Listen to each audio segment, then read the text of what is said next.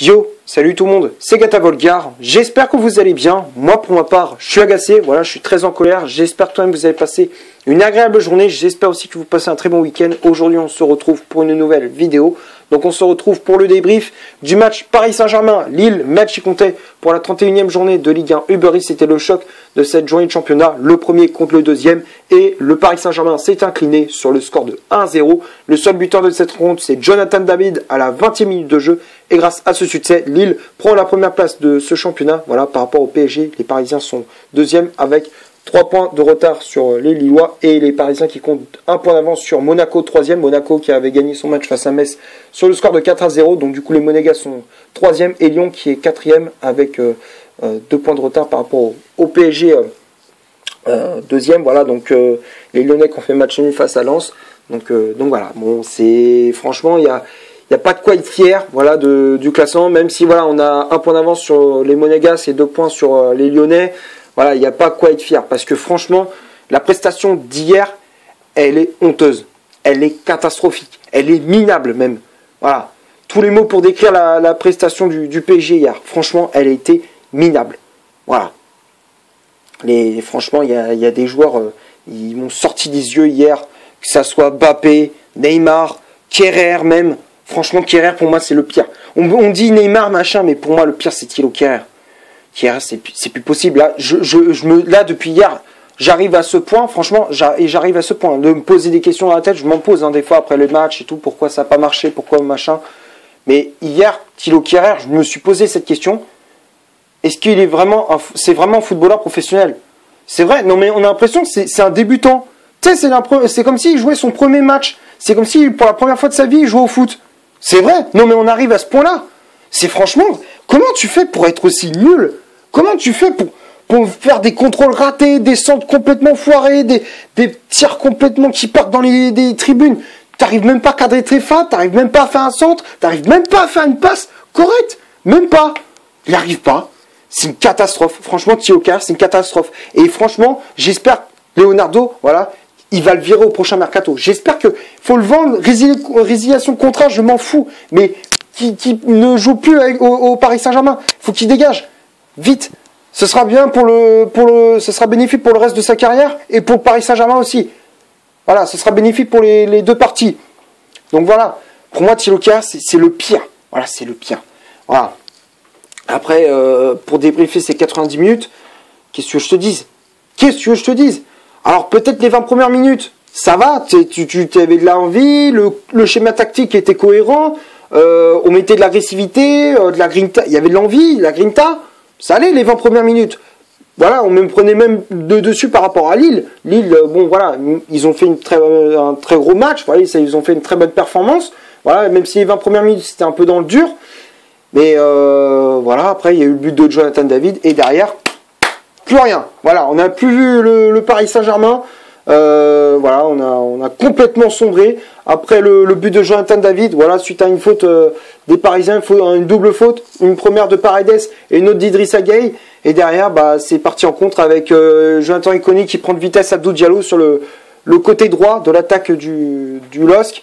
Et derrière, le, centre de, de l'ancien Parisien vient vient, euh, vient trouver Jonathan David au point de pénalty, vient ajuster Keylor Navas, voilà, contrôle et euh, frappe, voilà, il a eu tout le temps de contrôler, voilà, c'est, c'est franchement, je comprends pas, c'est, tu regardes le but, il euh, y, a, y a rien qui va, tu vois, Diallo qui est en retard, Marquinhos et Kipembe, alors l'alignement il est peut-être bon, mais tu vois qu'ils attaquent pas le, le, porteur du ballon, ils sont tous en retrait, ils sont tous en retrait, bah du coup Jonathan David ça lui laisse de l'espace, il, attend le contrôler, il voit qu'il n'est pas attaqué, bah, il, derrière il frappe et ça fait but.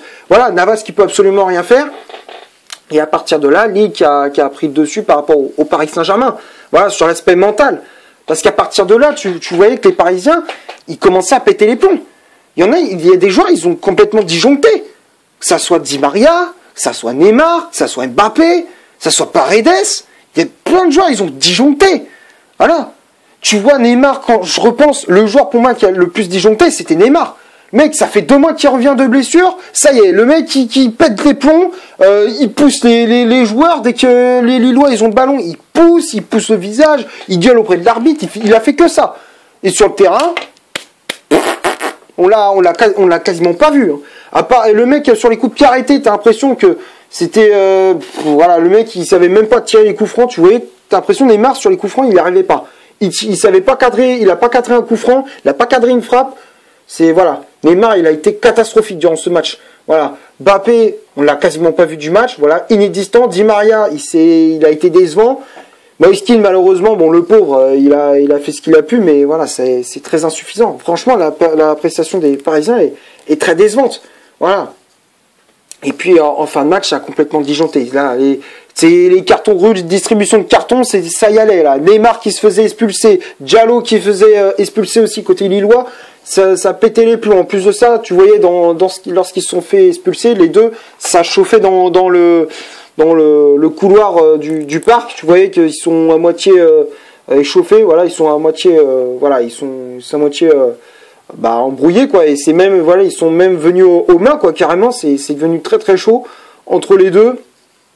Et pour moi, ce, match-là, ça m'a fait un peu penser au, au Classico en début de saison où tu perds un 0 au parc justement et avec justement le clash entre Neymar et Alvaro et aussi le clash entre bah, le brésilien et, Payet, voilà, c'était la même, la même chose. Voilà, c'est le, le c'est à peu près le, la même chose que contre Lille. Voilà, Neymar qui a, qui a complètement disjoncté.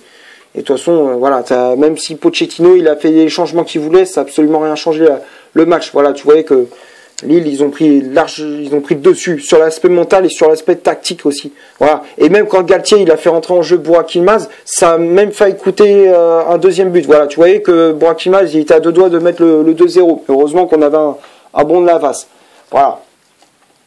Bref, euh, ça c'était le débrief de 90 minutes. On va passer maintenant à la composition d'équipe que euh, Mauricio Pochettino aligné pour ce euh, PSG Lille. Donc ça a été un 4-2-3-1 avec Navas dans les buts du Paris Saint-Germain. La charge centrale, Marquinhos associé à Presnel Kipembe. Marquinhos qui avait le brassard de capitaine. Les latéraux, Kerrer à droite, Diallo à gauche. Kerrer qui a remplacé euh, euh à la dernière minute parce que Forendi a été il était testé pas positif au Covid, mais il était testé négatif, mais soi-disant il était qu'à contact avec Marco Verratti. Voilà, donc il était placé à isolement, donc du coup il était forfait pour ce match, donc du coup c'était euh, la catastrophe. Euh, Thilo qui, qui a pris sa place. Après, euh, les, les, les, comment dire, le milieu de terrain, Paredes associé à Idrissa Gueye, Neymar en numéro 10, Neymar qui a remplacé Verratti testé positif au Covid-19 et qui même sera forfait pour le match contre le Bayern mercredi en Ligue des Champions. Voilà, donc ça c'est un coup dur pour le Paris Saint-Germain. Euh, donc voilà, donc du coup Neymar le remplaçait à ce poste de meneur de jeu. Di Maria milieu latéral droit, Mbappé milieu latéral gauche à la pointe de l'attaque du PSG, c'était Moeskin à la place d'Icardi blessé. Voilà, donc euh, les remplaçants du côté du PSG sont Dagba à la place de Kierer, Bakker à la place de Diallo, euh, à la place de Gay et en fin de match Draxler à la place de Moiskin. Voilà pour le, le 11 de départ de Pochettino. Voilà, tu, pour moi toute l'équipe a été mauvaise. Voilà, limite le seul qui peut, voilà, qui peut-être peut sortir du lot, c'est Navas.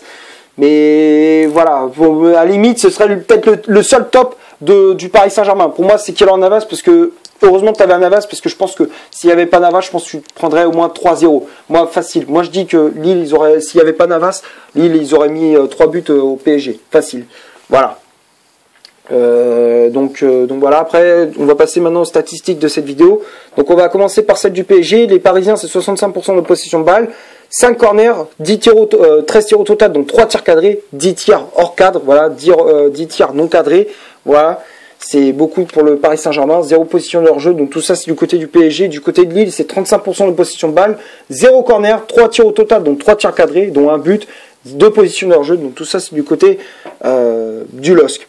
Voilà, donc quand on regarde les statistiques, alors Lille, ils n'ont pas été, euh, voilà, ils ont pas eu une grosse position de balle, mais tu voyais qu'ils ont été, euh, voilà, en termes de contre-attaque, ils ont été très tranchants. Voilà, ils ont été très efficaces, ils nous ont fait très mal.